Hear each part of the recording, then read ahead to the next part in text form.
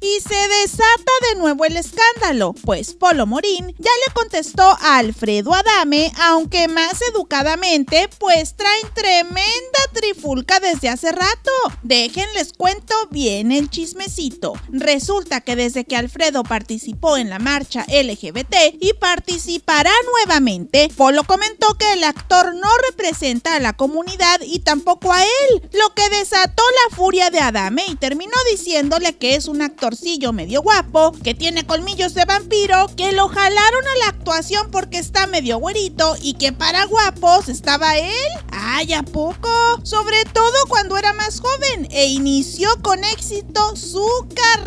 Ándale pues. Y terminó rematando que no es homofóbico, sino que no está de acuerdo con las locas desmecatadas como el pobre Polo. ¡Ay, Santo Cristo bendito! Polo Morín y sale diciendo que yo no lo represento, que yo soy un homófobo. Según él es muy guapito, muy bonito y todo el rollo. Mira, esto es ser guapo. Aquí tenía 35 años. Yo empecé a los 29 años de carrera. Entonces a mí que no me venga con cuentos. Y ese tal Polo Morín, pues no es más que un mal actorcillo que lo han jalado porque está güerito y porque creo que está medio bonito. No sé si creo que tiene dientes de vampiro. Y me sale este Polo Morín, este, que yo no lo represento y todo, no, yo no represento, este, locas desmecatadas como él, porque para mí él no es de la comunidad LGBTI, él es una loquita desmecatada que anda por ahí por el mundo. Tras la declaración de Alfredito, pues que Polo ya le contestó y prácticamente le dijo desquiciado, pues señala que no está bien de la cabeza y que le recomienda que atienda su salud mental, porque el problema puede agravarse y realmente lo lamenta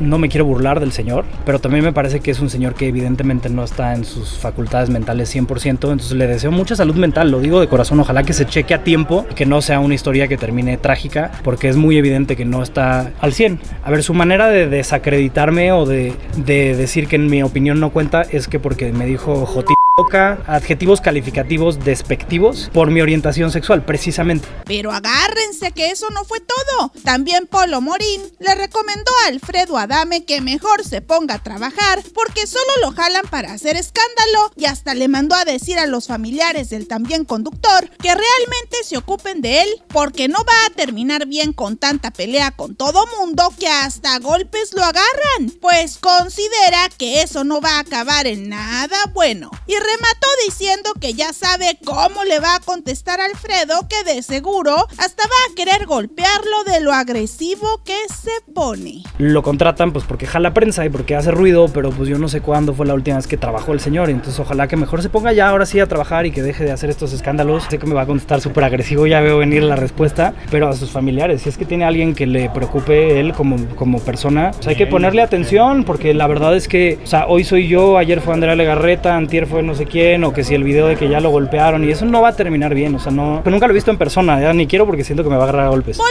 Morín dice que no está de acuerdo en que Alfredo Adame participe en la marcha LGBT porque el presupuesto se debe gastar en algo que aporte y valga la pena, no que afecte, pues dice que Alfredito con tanto hate que le tiró está provocando la homofobia, pues sí llegó a recibir comentarios homofóbicos por su culpa y que eso no es nada benéfico para la comunidad. ¡Ay, qué escándalo! Marisol Camacho, la chismosa.